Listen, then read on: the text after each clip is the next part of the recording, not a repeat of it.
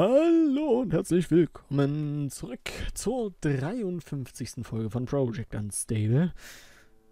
Die Musik geht los, das ist sehr schön. Ähm, ist aber ein bisschen traurig. Warte mal weiter. Ja. Das ist doch ein bisschen peppiger. So. Äh, was habe ich gemacht zwischen letzter Folge und dieser? Ich habe die UV Lightbox aufgestellt. Hab ein paar MTPCP gemacht. Äh, hab hier unten auch mal eingestellt, dass das Ding, äh, dass der Pressure Chamber automatisch Transistor und Capacitator rauszieht an der Stelle. Und da können wir auch... Oh nein, jetzt piept meine Uhr schon wieder. Nein. Also ihr merkt, es ist Mitternacht. Äh, und dann packen wir mal einen MTPCP mit rein, dass der auch mit rausgezogen wird. Äh, die anderen beiden sind im Moment noch ausgeschalten. Äh, wir werden das später noch mit Redstone Control machen, dass wir dann halt sagen können, okay, wir wollen jetzt Plastik herstellen äh, aus dem Zeug, was wir halt reinschmeißen und dann wird nur Plastik rausgenommen. Ups. Ich, ich ecke schon wieder gegen Kanten, die sehr knirscheln. Hm.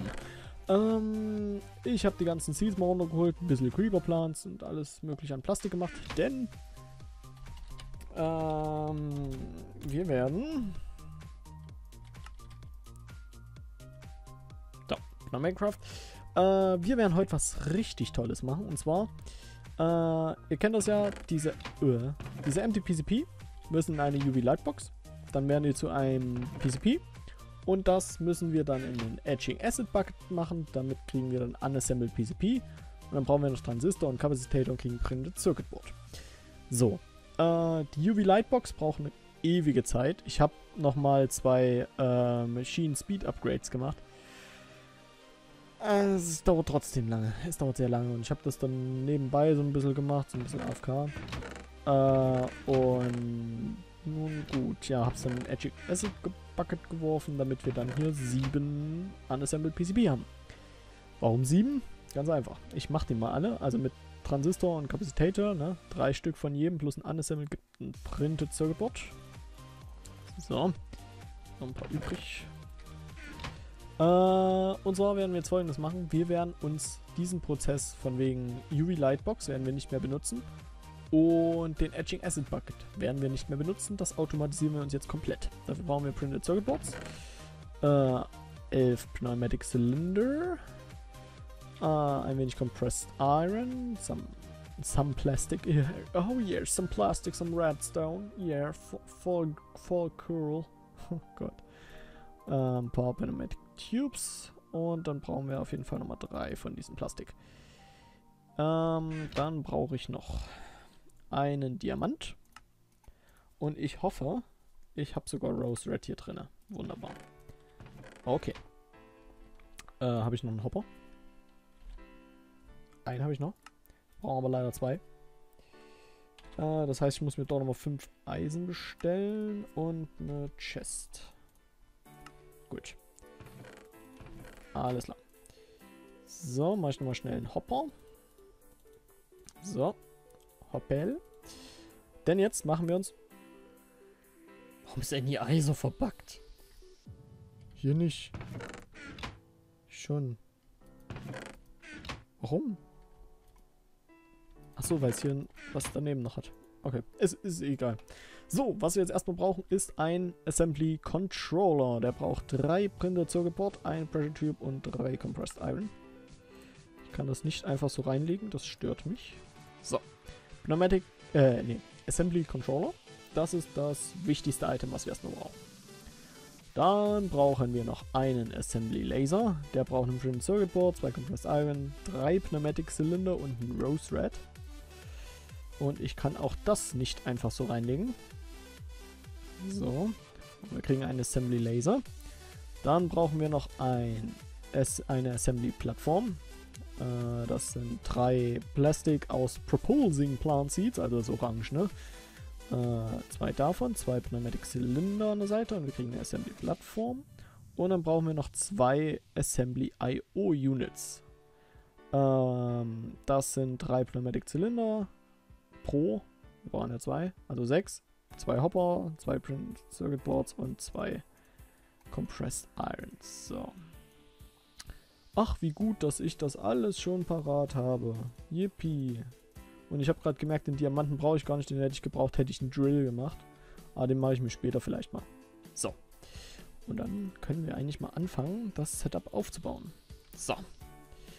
Ähm, zuerst einmal, ich bilde mir ein, dass das so war. Ich, ich hoffe, ich irre mich jetzt nicht.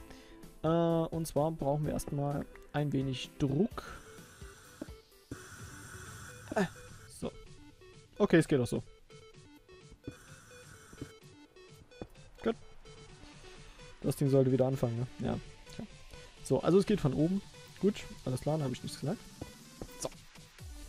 Und zwar den Assembly Controller. Daran ballern wir daneben so eine Pressure Tube. Die verbinden sich dann automatisch, was ich sehr gut finde. Das ich wusste nicht, ob es von unten ist oder von der Seite. Ich glaube, von unten dürfte es sich auch verbinden. Das ist ein Texture-Fehler. Und ich merke gerade, ich könnte ja wieder einen Block drunter setzen, oder? So. Ganz elegant gelöst, dann ist nämlich dieser Texture-Fehler nicht mehr ganz so schlimm.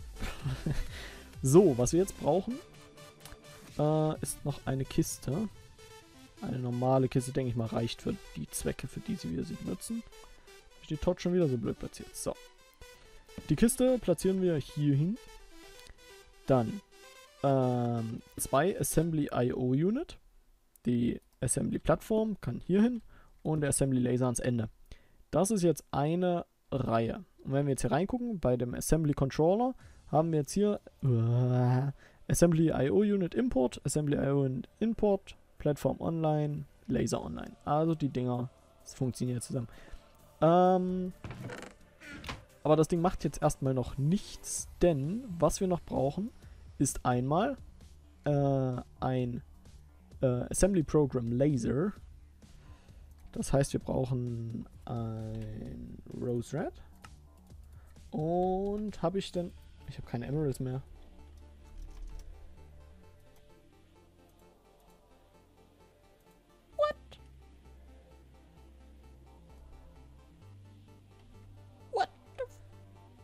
Warum?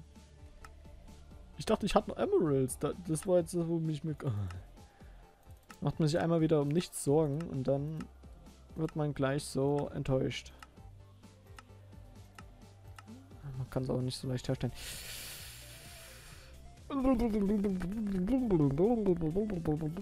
Ähm, lange Rede, kurzer Sinn. Wenn ich keine Emeralds hier drin habe, dann müssen wir uns welche besorgen. Ähm, das würde ich sagen, mache ich jetzt schnell offscreen. Und ähm, ich bin gleich wieder da, wenn ich das ganze Zeug habe, was wir brauchen an Emeralds. Bis gleich. So, da bin ich wieder. Ähm, ich habe ein bisschen mit Villagern getradet und wir haben jetzt äh, alles, was wir brauchen. Und ich wollte mal ganz kurz was gucken. Und zwar hatte ich mir zwischenzeitlich Wolle requested. Wo ist die hin? ich mir wirklich vielleicht das Falsche? Ich dachte mir, ich hatte nämlich 40 requested, aber irgendwie kamen nur 32 an. Hm, keine Ahnung. So. Äh, ein Roaster in der Mitte. 8 Emeralds. Gibt einen Assembly Program Laser. Das ist im Moment ein temporäres Rezept, heißt es angeblich. Äh, später sollen es Villager traden, aber ich weiß nicht, ob das überhaupt noch passieren wird. Gut, also, Assembly Program Laser. Hier steht es auch nochmal, be in mind that this crafting recipe's temporary. Uh, once I give mechanics, uh, my, uh, Minecraft villagers, uh, place to live, I'll remove this crafting recipe and you'll only be able to obtain them via trading. Ja. Ähm, aber wir brauchen eh nur das Programm. Das können wir jetzt hier mit reinpacken. Und Problems. So, Pressure, alles im grünen Bereich, aber es, es macht nichts. Warte. Stimmt. ich Idiot, ich muss ja einen, die PCP reinpacken. Hm, passiert immer noch nichts. Äh, was wir noch brauchen, damit das ganze Ding hier so funktioniert, wie wir das wollen, ist einen Pneumatic Wrench. Und zwar das Ding. Das braucht 5 Plastik aus Burst Plant Seeds, einen Lever und einen Air Kanister. Dürfte aber für uns kein Problem sein, den Air Kanistern alles mögliche zu machen. Also machen wir mal so und so. Und wir haben einen Air-Kanister. Da nochmal ein bisschen Plastik außen rum und einen Lever in die Mitte und wir kriegen einen Pneumatic Wrench. Charging Station haben wir ja schon mal gemacht. Die bammel ich auch gleich mal hier daneben. Und dann können wir mal das Ding ein bisschen hier mit ein paar Bar füllen. Ähm, die Charging Station kann natürlich, seht ihr, schon bis zu 20 Bar haben. Äh, und der Ranch wird nur maximal so hoch aufladen, wie wir maximalen Druck haben. Und das ist bei uns 4. Weil wenn, wenn wir auf 5 gehen würden, würde das Ding hier vielleicht explodieren. Das heißt, wir brauchen irgendwas, was hm, mehr Strom sozusagen, also nicht mehr Strom, mehr Druck produzieren kann. Äh, aber das machen wir später. Die 2 Bar reichen uns jetzt erstmal, die jetzt hier dran sind. Und zwar machen wir jetzt einfach auf so eine Assembly Unit. Re Ups. Einmal Rechtsklick. Ähm, und sie wird zu einer anderen Unit. Und zwar ist das die Export Unit. Und ihr seht schon, dass ähm, die Assembly Unit geht in die Kiste und der Empty PCP ist weg. Denn der Empty PCP ist jetzt hier vorne dran. Er wird dort reingelegt wir warten mal lieber noch den Moment, bis er fertig ist. So. Und danach dürfte jetzt der Laser, genau, der Laser fängt an. Ich hole in der Zwischenzeit mal die anderen PCP. Damit das Ding hier mal schön das ganze Zeug durchbrettern kann. Äh, ich zeig dann gleich nochmal, wie das aussieht. So, der Laser ist fertig. Und ihr seht schon, es ist ein unassembled PCP. So. Der wird jetzt äh, ergriffen von dem Export. So. Und wo packt das hin? What the fuck? Warum dreht sich das um 180 Grad? What? So, und das Ding legt jetzt den Printed Circuit Board hierin ab. Also nicht den Printed, den Unassembled PCP.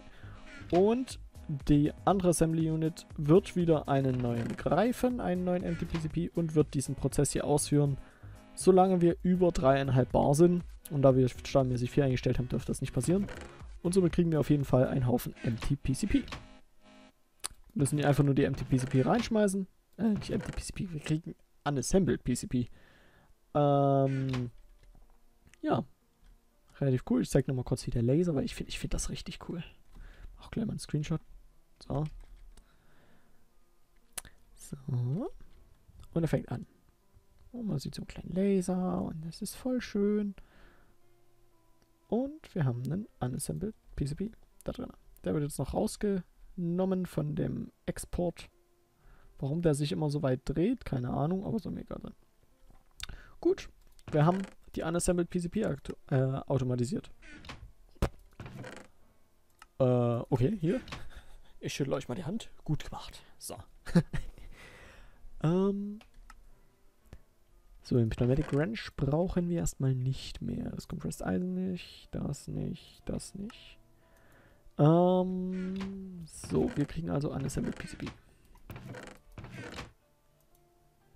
Ähm, ihr seht ja, hier in der Kiste liegt ein Haufen Zeug.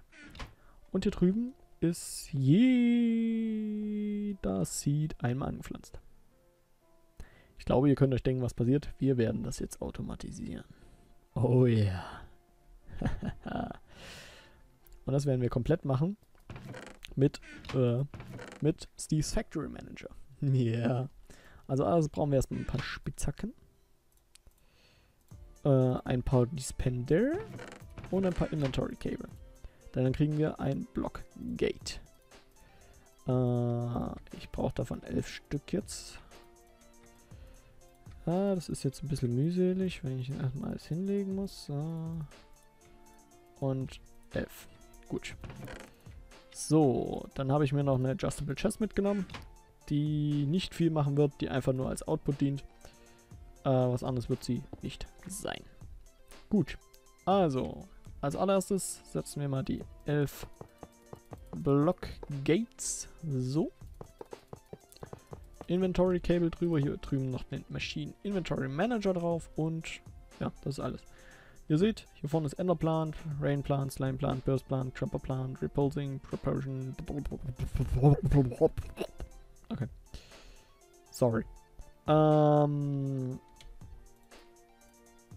was jetzt die, was jetzt folgendes ist. Ähm, und zwar die Blockgates. Ähm, oder ich erzähle es, wenn wir es benutzen. Ist vielleicht besser, wenn ich es erst erzähle, wenn es überhaupt zum Einsatz kommt.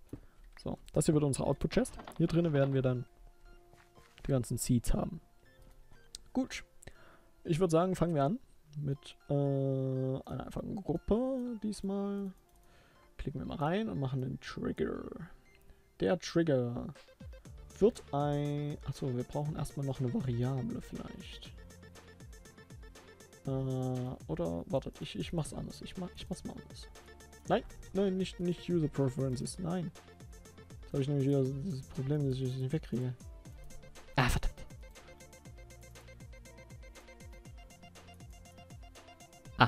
Hier oben. Gut, das hat geklappt. So. Also, deleten. Ähm, ich brauche einen Trigger. Und dann möchte ich gerne eine Variable, eine Container-Variable erstellen. Na, komm, lass dich bewegen. Äh, diese Variable wird die äh, weiße Variable sein. Äh, und zwar wird sie alle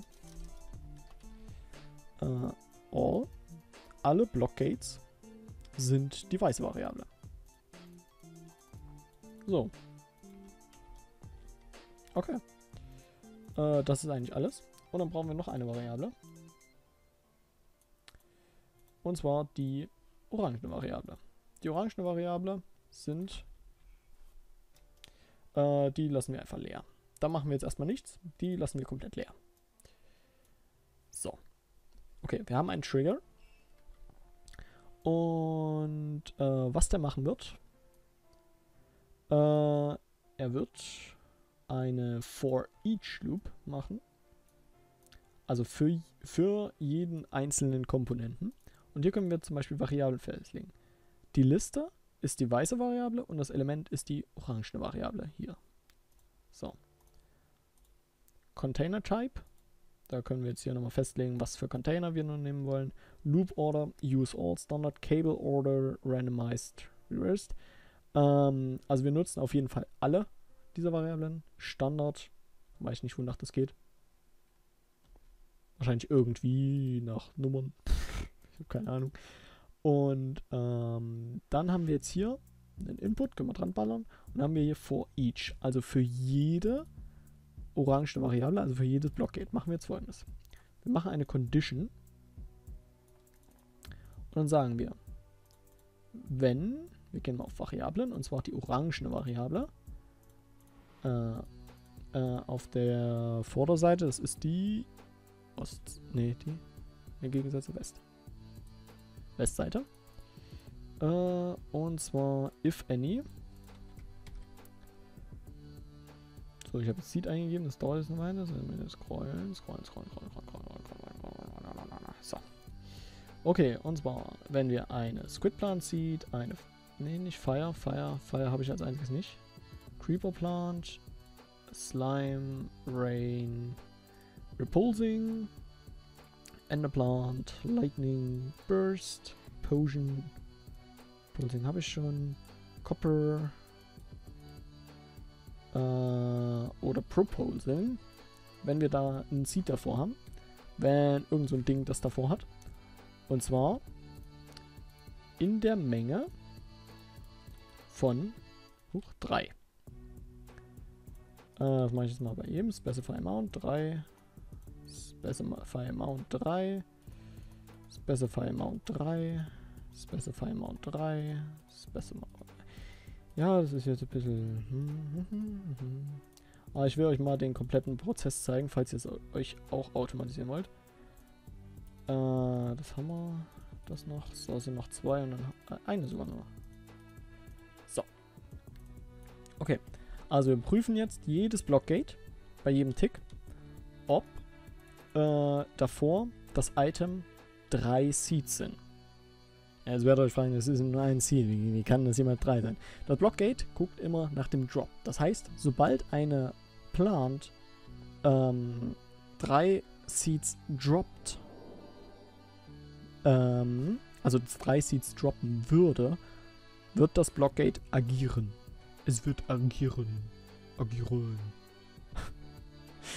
okay, das war falsch. So. So, wenn es wahr ist, werden wir ein Input machen. Eine Input. Und zwar aus der Variable der Orangene auf der Westseite. Und wir werden eine Empty Blacklist machen. Äh, ne, eine Whitelist. Denn ich muss jetzt wieder alle Seeds definieren. Yippie, wir haben 258 Items, die Seed haben im Namen. Ich darf wieder alle machen.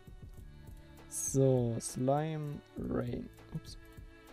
Rain, Slime, Creeper, habe ich alle? Ja.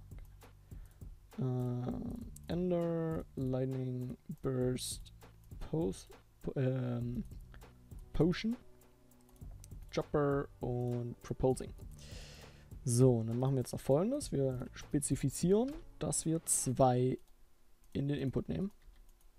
Also ich hoffe, es funktioniert so, wie ich mir das denke. Ansonsten müssen wir es über einen Buffer machen.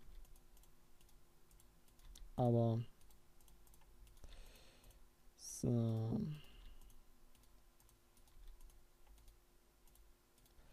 Ich hoffe, ich habe dann keinen vergessen. Uch, so. Den habe ich. Okay. Gut, also wir importieren zwei Items von der Variable, bei der wir gerade sind, also von dem einen Blockgate. So, und danach machen wir einen Output in die Chest. Von irgendeiner Seite in die Blacklist. So, ich weiß nicht, ob es jetzt so funktioniert, wie ich mir das denke. Wenn nicht, müssen wir es mit einem Buffer machen, aber das wäre nicht das Problem. Weil ich habe mir jetzt folgendes gedacht. Wenn das Ding drei Seeds droppt und wir nur zwei wegnehmen, muss ja einer noch da bleiben. Aber es funktioniert nicht. Huch! Okay. Ähm. Okay. Also Enderplant, Chopperplant, Burstplant, J-Plant. Enderplant kommt hier und nicht da hinten. Dann kommt die Rainplant. So. Okay, also wir müssen mit dem Buffer machen. Das ist natürlich nicht so toll. Aber kein Problem für uns. Das Einzige, was wir machen, wir machen jetzt noch eine Kiste, die wir, was weiß ich, hier in die Mitte packen. Äh, und jetzt machen wir folgendes. Wir importieren. Äh, dafür muss ich jetzt allerdings nochmal hier alles löschen. So. Wir importieren, wenn der ähm, Variable die orange Variable. Target West. Also Empty Blacklist. Okay. Ähm, also wir importieren, wenn es fertig ist, alles. Also nehmen alles raus und packen es in die Kiste. Das können wir jetzt mal kurz testen. Na?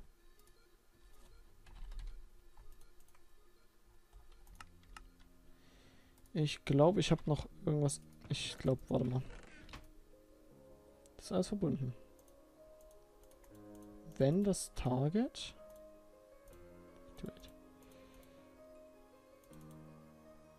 if any squid plant 3 wo ich warte mal kriege ich nur zwei raus? Verdammt. Ich hab das so gehen wir mal ein. So. Es hüpft lustig vor sich hin. So wie viel kriege ich raus? Zwei. Okay also nicht drei sondern zwei ähm, dann muss ich die Condition mal ändern. Und zwar muss ich jetzt alles auf 2 stellen. Yippie. Ich dachte, es waren 3.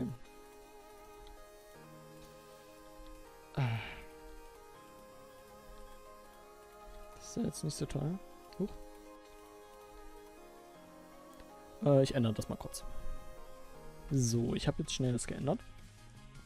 Äh, ähm, Input, äh, Empty Blacklist und halt hier bei der Condition ist jetzt also auf 2 gestellt.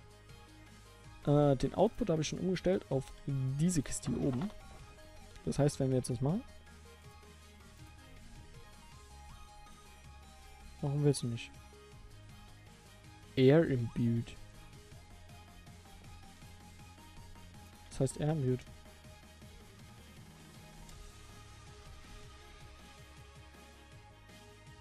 Oh, what the fuck? Warum funktionieren Blockgates nicht? If Target. Ich aktiviere mal alle. If any. Specify mount 2. Ah, ich sollte vielleicht. Ähm, ja. Das ist natürlich sehr dämlich von mir. Ähm, und zwar nicht Precise Detection, sondern Fuzzy Detection. Oder Mod Detection. Ich könnte auch einfach... Fuzzy dürfte eigentlich... Diese komischen Wirbel da hinten. Ähm... Mal gucken, was habe ich jetzt gesagt? Squid Plant Seeds. Das funktioniert jetzt. Okay, also wir müssen Fuzzy machen. Ah, das war jetzt dämlich von mir. Äh also Fuzzy, Fuzzy, Fuzzy, Fuzzy. Ich glaube, dann wäre sogar die Metadateie nicht egal. Ist jetzt egal. So. Okay. Die Seeds landen hier oben. Ihr seht, es sind immer zwei. Und es sind ein bisschen andere. Die sind Item.plastik. Irgendwas. Ähm, was wir jetzt noch machen müssen, damit das ganze Ding automatisch auch wirklich richtig komplett funktioniert, ist nochmal einen Input zu erstellen, der aus der Kiste von irgendeiner Seite äh, das Item rausnimmt. Es wird immer ja nur eins drinne sein. So.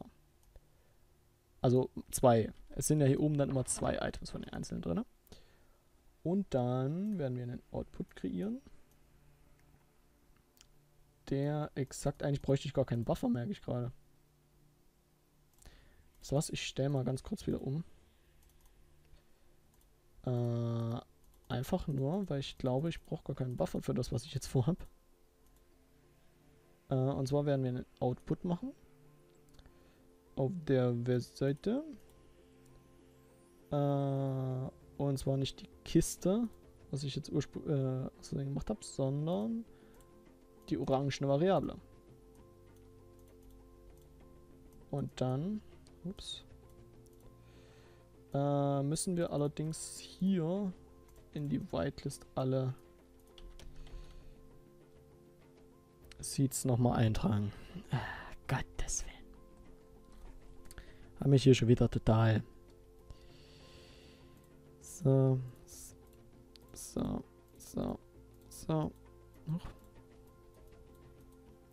So. So. So. So. So. So. Und so. Dann müssen wir jetzt einfach hier nur Specify Mount auf 1 stellen. Damit wir nur einen ausgeben sozusagen. Ah, jetzt weiß ich, warum ich einen Buffer machen wollte.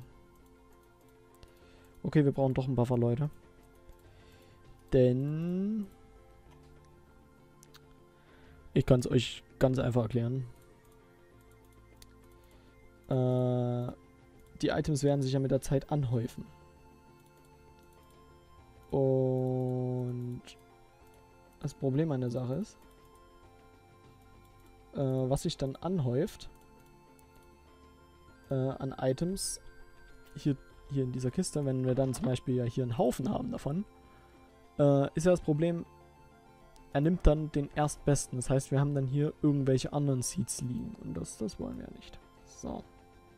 Also wir machen einen Output äh, in diese Kiste, nehmen aus dieser Kiste, ähm, dort ist ja dann erstmal nur ein Seed drin, nehmen wir dann einen Seed raus, platzieren den Und dann machen wir noch einen Output. Der äh, in unsere Kiste geht. Also in diese erste hier daneben. Äh, von irgendeiner Seite und eine Empty Blacklist. Das heißt, alles, was dann hier in der Kiste noch übrig ist, am Ende, wird hier reingepackt. So, jetzt teste ich das mal ganz kurz. Ob das so funktioniert. Machen wir eine Bürstplant. Warum packst du beide da rein? Wahrscheinlich, weil ich Idiot hier schon wieder Fuzzy Detection. Funktioniert das Ding dann eigentlich gleich automatisch? Warte mal, ich mach mal Fuzzy. Wenn ich dann jetzt Bürstplan bitte.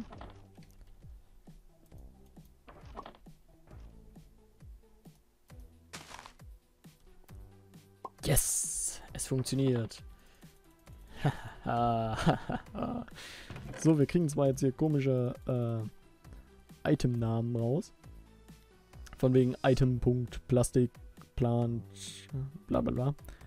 Aber äh, das kann mir relativ egal sein. Denn wir brauchen ja eh nur das Plastik. Ah, sehr schön. Sehr, sehr schön. Das heißt, sobald es reif ist, wird es abgebaut und wieder hingedroppt. Und wir haben kein Problem mehr und kriegen alle Seeds hier drüben rein. Die Vision bleibt leer. Yes!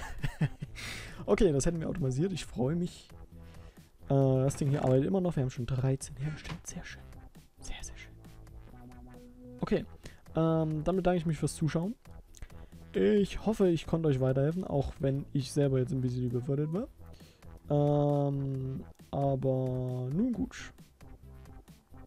Äh, es funktioniert, das ist die Hauptsache. Und deswegen hätte ich es gesagt. Das war's. Danke fürs Zuschauen. Tschüss, bis zum nächsten Mal. Euer Dr. Schnauze. Krieg das nicht schön. So kriege ich es schön. So. Nein, nur ein Stück mit drin. So. Ordnung muss sein. Gut, dann danke fürs Zuschauen. Tschüss, bis zum nächsten Mal. Und adieu.